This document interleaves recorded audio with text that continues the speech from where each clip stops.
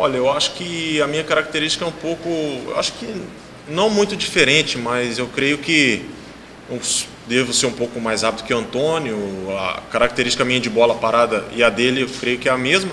Mas isso eu e o Fábio a gente vem conversando bastante fora de campo para que esse entrosamento a gente possa encontrar ele o mais rápido possível. A alegria do nosso grupo voltou, apesar que a gente perdeu esse jogo, os dois jogos mais importantes do primeiro semestre, mas a partir do momento que a gente teve em Saquarema, a nossa alegria, a nossa disposição aumentou bastante. Então, creio que a partir do jogo de, de amanhã, a nossa alegria vai continuar.